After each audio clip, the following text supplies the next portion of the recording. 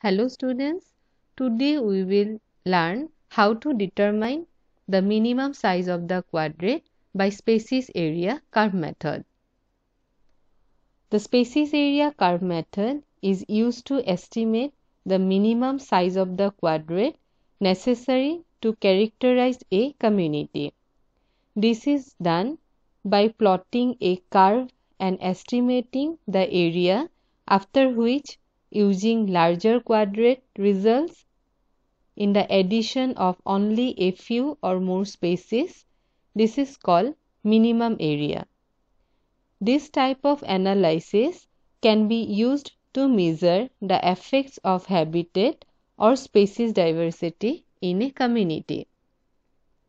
The species area relationship or species area curve describes the relationship between the area of a habitat or of part of a habitat and the number of species found within that area. Now we will discuss about quadrat method. There are different types of quadrat like least quadrat, least code quadrat, chart quadrat and clip quadrat. Least quadrat is enlisting the names of different species growing in the quadrat.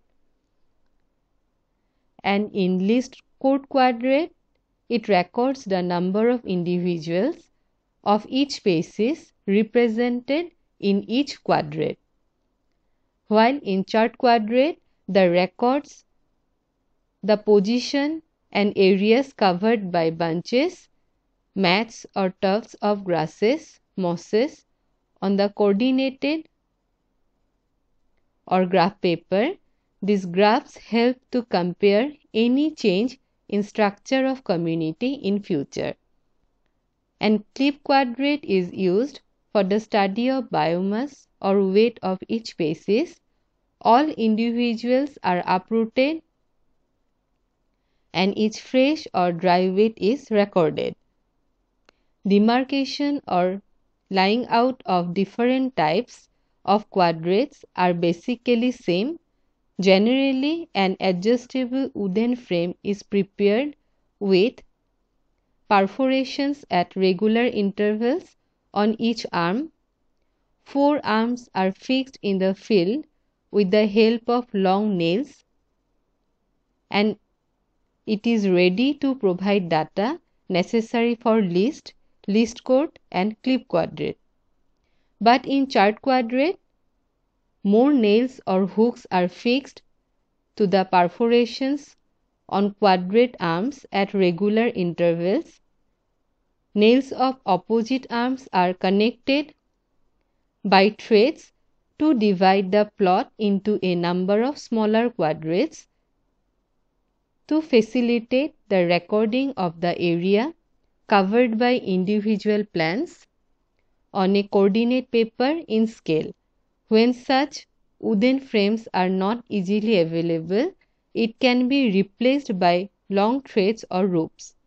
The base size of quadrat to use in a community should be determined with care.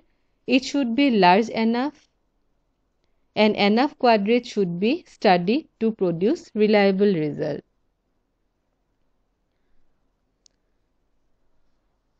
The size quadrats to be used in a given community is determined by constructing a species area curve. This is done by sampling the vegetation with nested quadrat method. In selecting an appropriate quadrat size, we need to ensure that the quadrat are big enough to contain at least one plant of interested of interest and should include enough plants to get a good estimate of density. Conversely, the quadrat needs to be small enough that the count can be conducted in a reasonable amount of time.